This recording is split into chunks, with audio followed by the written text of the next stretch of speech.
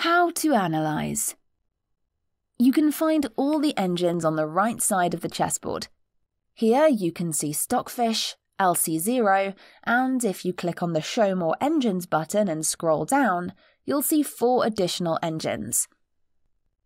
asmFish and Sugar are both configurations of the Stockfish engine, while Berserk and Koivisto are among the top 10 highest rated engines in the world.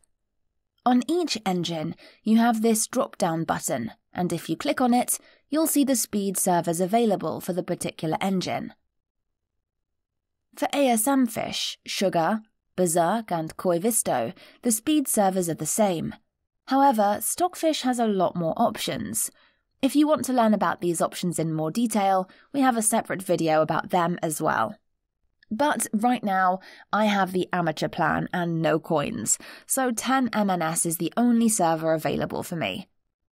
To start analyzing, I simply need to choose the 10MNS server and click on the Analyze button. I can analyze with multiple engines simultaneously. Give it a few seconds, and you can see that the analyses have started running. By default, the engine shows me the best three lines in the position, but I can increase the number of lines with this plus button or decrease the lines with the minus button. Just keep in mind that changing the number of lines restarts the analysis. If you have difficulty understanding the moves suggested by the engine, you can simply click on the move and it will be played on the board automatically, as well as added to your notation here.